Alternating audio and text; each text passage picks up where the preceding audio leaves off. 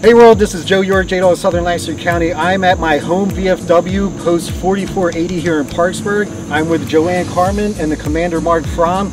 And nationwide, J-Dog is donating items to our local VFWs a week before Veterans Day. So I wanted to see, are you guys in need of anything? You know what, Joe, that's awesome.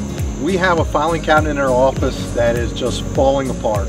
And you know, we really could use something new. If you're out there on a job and can find something, absolutely, that's what we need here at this post. Perfect, yeah, we come across them all the time, so we'll take care of you.